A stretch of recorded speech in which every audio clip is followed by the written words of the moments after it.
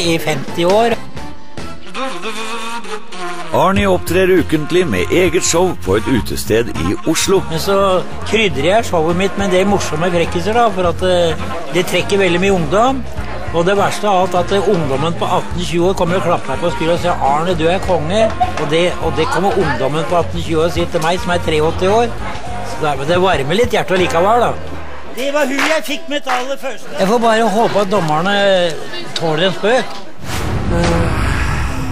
Vet du, hva, Jeg vet ikke om de dommerne tar en spøk, men eh, vi får gi dem en sjanse.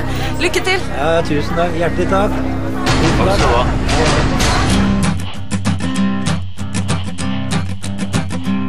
There's a man going round taking names, and he decides who to free and who to blame. Everybody will be Hvordan har du det nå, Arne? Jeg har litt nerver nå, da. Det gjelder å få folk til å le, da. Det er jo bare tull alt sammen.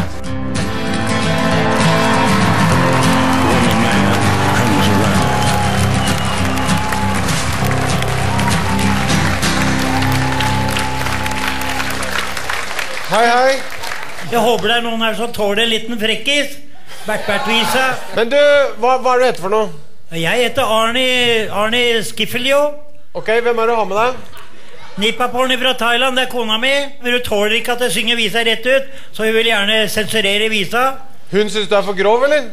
Ja, hun syns han er altfor grov. Ja, men du, Da har vi lyst til å se på deg. Vær så god. Hjertelig.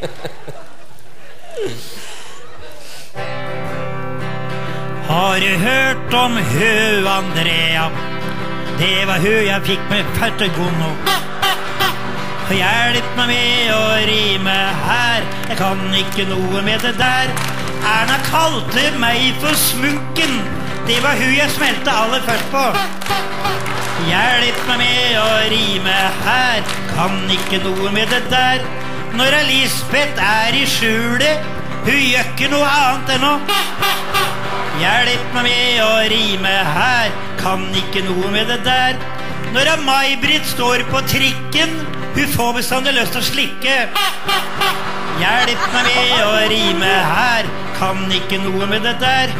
I hvert kloster er det munker, de slokker alltid lyset når dem Hjelp meg med å rime her, kan ikke noe med det der. Tra-di-ra-la-ra-la-ra-la. Ra-la-la-di-ra-di-ra-di-ra-la-la. Ra-la-la-di-ra-la-la.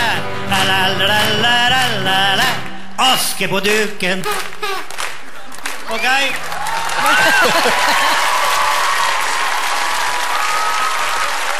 Ja, Mia, hva syns du? Um, uh, jeg, har, jeg vet ikke hva jeg skal si. Skal jeg være helt ærlig. Kan du noe annet enn denne sangen? Har du sett min lille kone som legger seg på ryggen for en krone? Og hvis hun ikke krona får, så tar hun på seg buksa og går. Det er, det er ikke kona mi. altså. Det er en annen kone. Ja, nei, Dette er jo en helt surrealistisk, eh, herlig opplevelse. Og når du står da med kona di, og hun kjører Bert-Berten eh, i tide og utide, så blir det jo en veldig humoristisk opplevelse.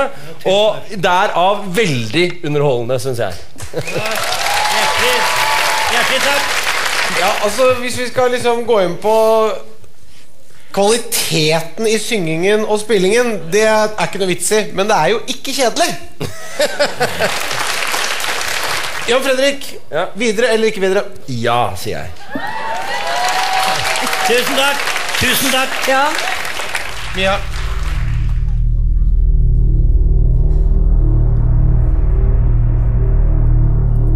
Dessverre nei. Men det driter vi i, for dette er underholdende. Du er videre.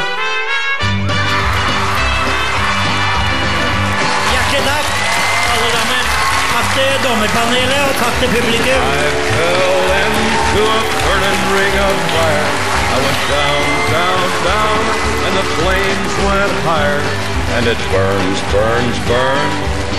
The ring of fire, the ring of fire. Dette var gøy. Nå ble jeg varm i hjertet. Ja, det var moro. Moro å ha deg med. Vi gleder oss neste.